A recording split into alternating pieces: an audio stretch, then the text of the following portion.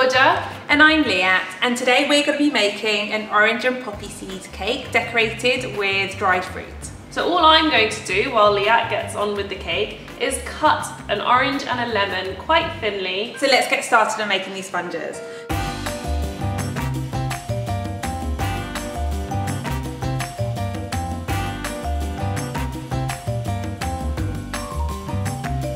So you can see that we have a really nice thick batter going on here.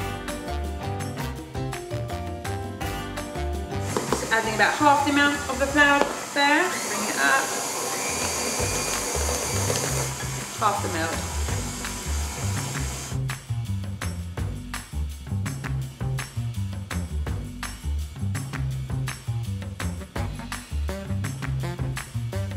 So I'm just going to give this a little mix by hand and make sure nothing's stuck at the bottom.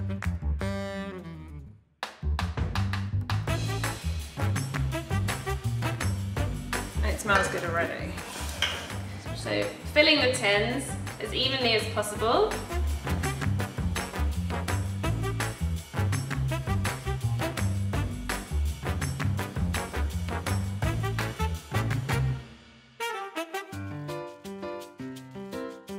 Right now we're going to prepare our Swiss meringue buttercream which we're going to use for filling our cakes.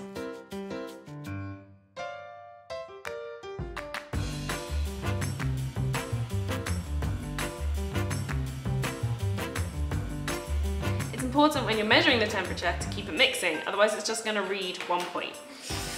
Okay, that is up to temperature.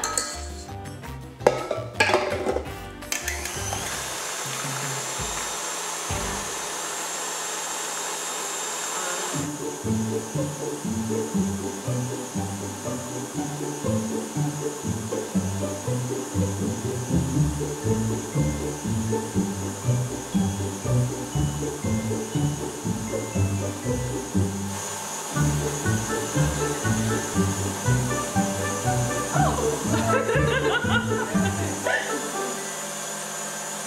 can't go in with the butter just yet, so we're going to leave this to cool just standing like this and get on with preparing the cake and a nice sugar syrup to soak the cake with.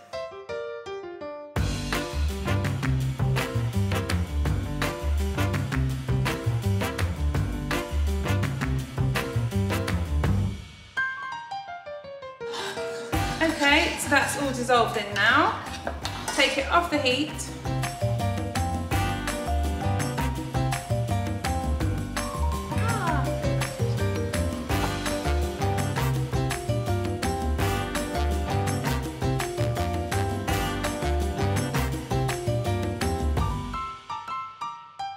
So now that our cake layers are ready, we're just going to add some simple, some of the orange syrup that we prepared. Right, so the meringue has completely cooled. There is no more heat on the bowl. That's very important because now we're going to add the butter. So I'm gonna put the mixer down and put it onto a medium speed. And I'm not going to touch the speed until the buttercream is formed.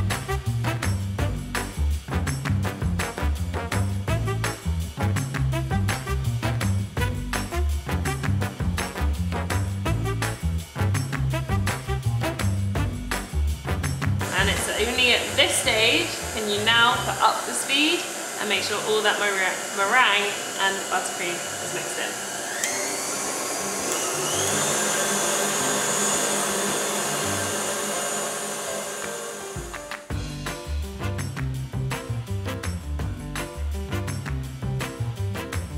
That's the buttercream. You can see how light and fluffy it is. So I'm just going to give it one last mix. So firstly, we just want to put some buttercream so I can take them now. And then I'm going to pipe on a big hole, a rim.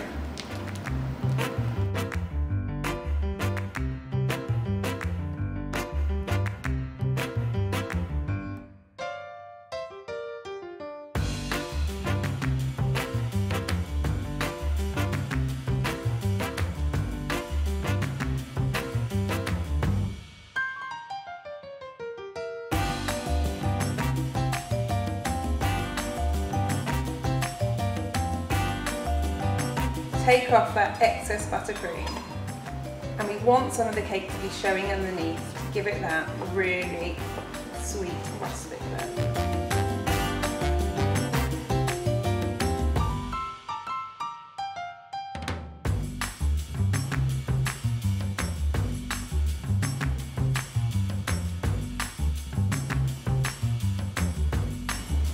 Yum! Look at those layers.